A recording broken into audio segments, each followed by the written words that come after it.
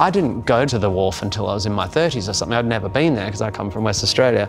And I just remember this it's like you're crossing a bridge into another world. You have to go on a journey.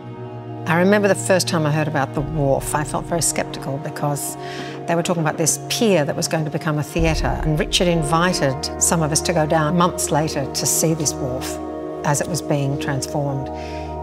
And I just couldn't believe it. My heart just expanded. I just remember thinking, I have to work here, I have to do whatever I can to be part of this. It was like nothing else I'd ever seen. The history of the place, the possibilities, and I just thought Richard Wherrett's vision for it was out of this world.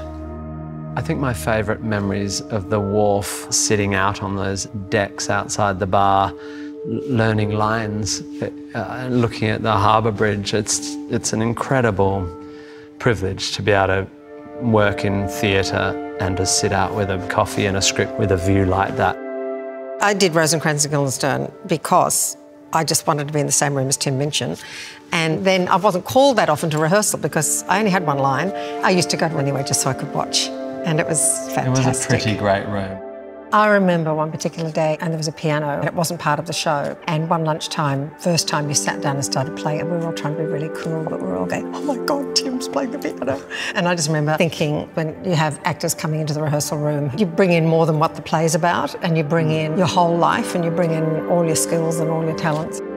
It is one of the best things about working at the STC is that when you're rehearsing on the wharf, you're completely surrounded by art and artists. Sometimes you're learning your lines, you walk past an actor who's rehearsing in the corridor, crying, crying breaking up, um, getting notes, uh, working with the voice. So, you know, it's sort of in the public space, you're working just as much as in the rehearsal room. And it's really, really fun to go there. It doesn't have any sense of sort of being staid or posh. It feels Australian and it feels joyous, and yet it's proper world class theatre.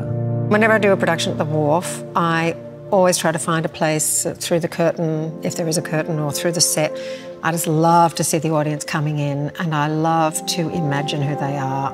The thought of going out and sharing the story or sharing whatever it is with these people, knowing that each person will receive it very differently and knowing that each person's experience will be unique.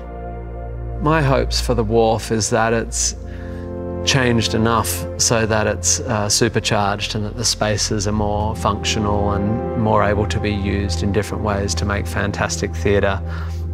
But also that it hasn't changed too much because one of the fantastic things about the wharf is that it carries its history and the porousness of its wood, you know, that's why I love theatres. It's like you can smell every story that's ever been told there. It matters so much at the moment, the stories we're telling each other, the way we're communicating our stories. And as you say, STC is built on Gadigal land and you know that stories have been told here for millennia. It matters a huge amount how we see ourselves in, in art. And so I think that's our job. Our, our job is to put good ideas out into the world and to tell stories that allow us as a community to be the best versions of ourselves.